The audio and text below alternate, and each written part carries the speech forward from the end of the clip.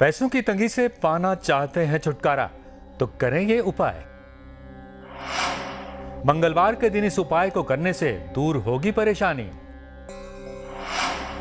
करें ये उपाय छप्पर फाड़ के, बरसेगी हनुमान जी की कृपा। दोस्तों, मंगलवार का दिन बजरंग बली का माना जाता है।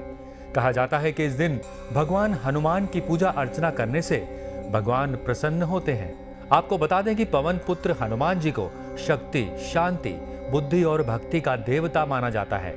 माना जाता है कि भगवान बजरंग बली की पूजा श्रद्धा भाव के साथ की जाए तो वो जल्द ही प्रसन्न हो जाते हैं। और मंगलवार के दिन भगवान हनुमान जी की विधिवत पूजा करने के साथ कुछ ज्योतिषीय संबंधी उपाय करना लाभकारी होता है।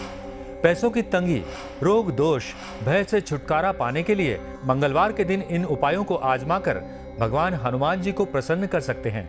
अगर आपको बात बात पर गुस्सा आता है तो मंगलवार के दिन सुबह उठकर स्नान के बाद हनुमान जी की पूजा कर पूरे दिन उपवास करें। मान्यता है कि प्रत्येक मंगलवार को ये उपाय करने से धीरे धीरे गुस्सा कम होने लगेगा।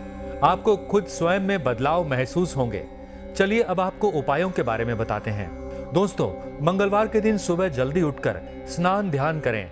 उसके बाद पीपल के पेड़ के नीचे सरसों के तेल का दीपक जलाएँ और पूर्व दिशा में मुँह करके तुलसी की माला में श्री राम नाम का जाप कम से कम ग्यारह बार करें। हर मंगलवार को ऐसा करने से बजरंग बली प्रसन्न होते हैं। मंगलवार के दिन हनुमान जी के मंदिर में जाकर बजरंग बली को सिंदूर और चमेली का तेल अर्पित करना चाहिए।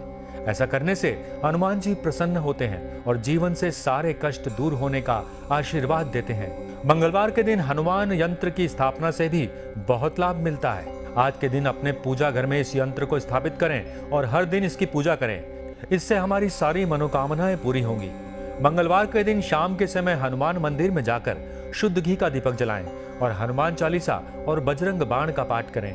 इससे आपकी सारी समस्याएँ जल्द दूर होंगी। मंगलवार की शाम को हनुमान जी को केवड़े का इत्र अथवा गुलाब की माला चढ़ाने से भी वो अपनी कृपा भक्तों पर बरसाते हैं। इसके अलावा शनि दोष से छुटकारा पाने के लिए भी मंगलवार का दिन सबसे उत्तम है। आज के इस वीडियो में बस इतना ही।